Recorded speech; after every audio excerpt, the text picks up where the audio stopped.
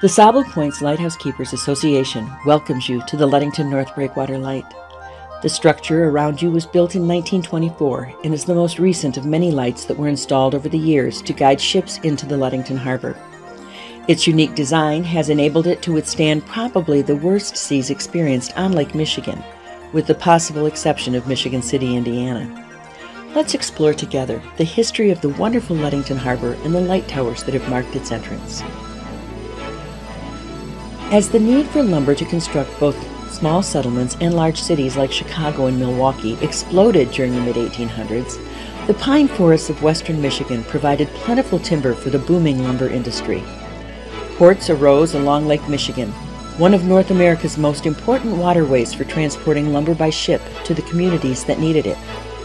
Soon, sawmills, logging camps, and shipping docks sprang up throughout the area, and ships lined up to carry processed lumber through Pere Marquette Lake's shallow channel and out into Lake Michigan. In 1867, the Army Corps of Engineers dredged sand from the channel and installed wooden cribs on both sides of the river mouth to make the channel more navigable.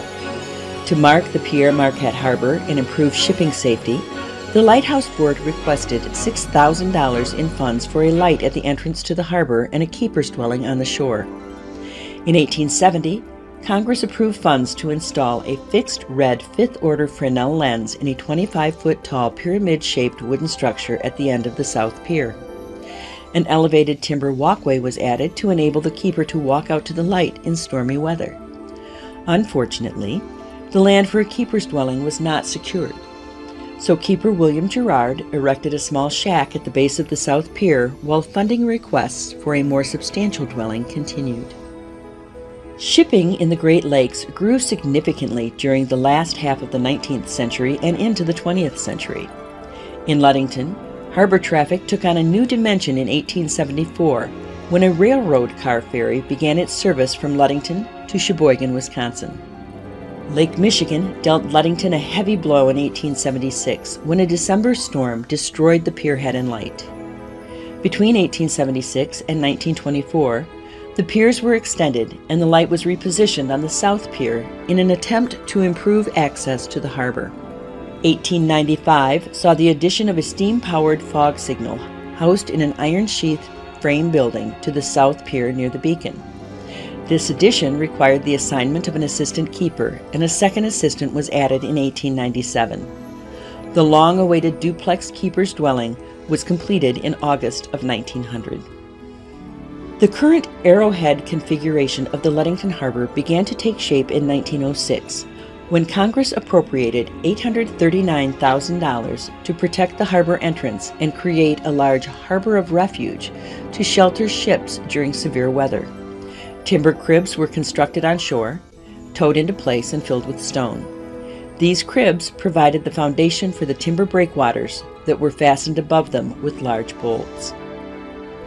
With expanded ferry traffic carrying railroad cars across Lake Michigan, it became clear that the current light and fog signal configuration on the South Breakwater did not adequately mark the new harbor opening.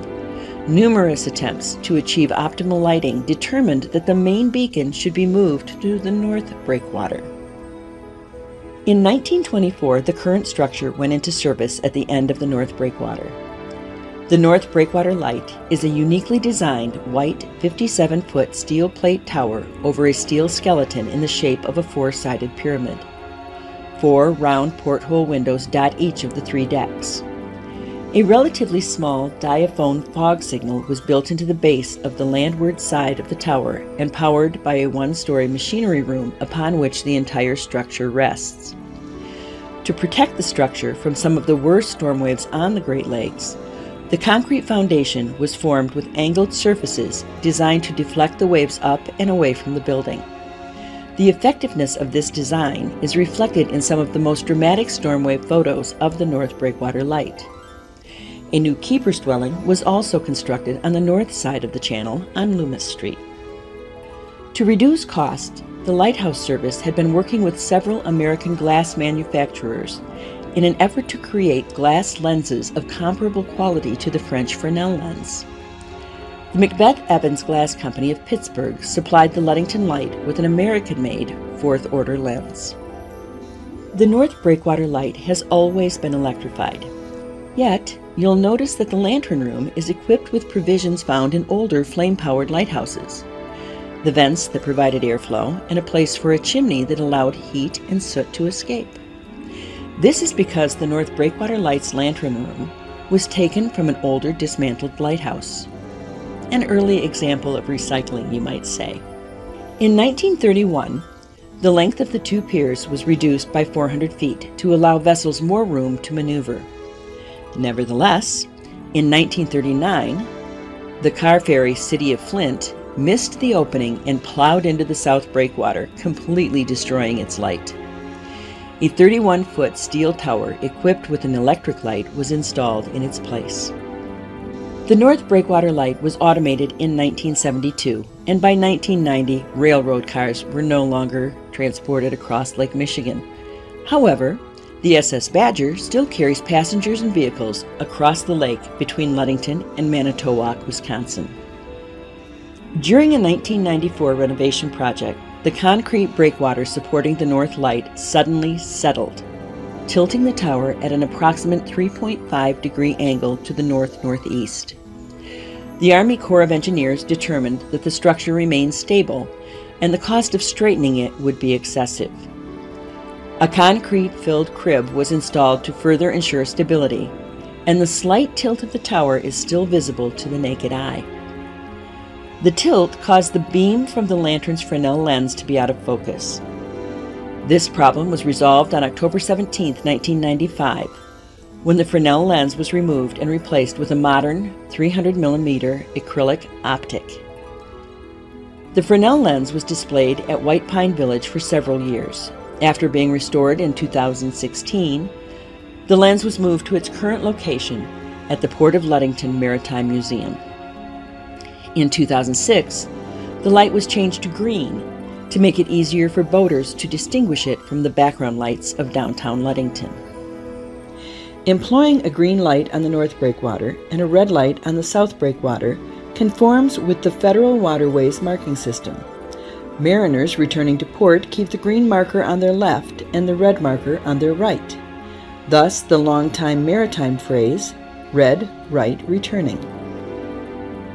In 2005, the Ludington North Breakwater Light was added to the National Register of Historic Places. Following a review, the National Park Service transferred the light to the City of Ludington in May 2006. Shortly afterward, the city negotiated a partnership agreement with the Sable Points Lighthouse Keepers Association, which maintains the light and opens it to the public from late May through early September. So now, Generations of visitors who have trekked the half mile out to the light and wondered longingly what it looked like inside can see for themselves. The Sable Points Lighthouse Keepers Association thanks you for visiting the Ludington North Breakwater Light. As a 501c3 nonprofit organization, SPLCA also manages and invites you to visit Big Sable Point Lighthouse in Ludington State Park, Little Sable Point Lighthouse in Silver Lake State Park, and White River Light Station near Whitehall. All proceeds from tower tours, gift shops, and donations go directly to helping preserve those four lights, and we thank you sincerely for your support of our mission.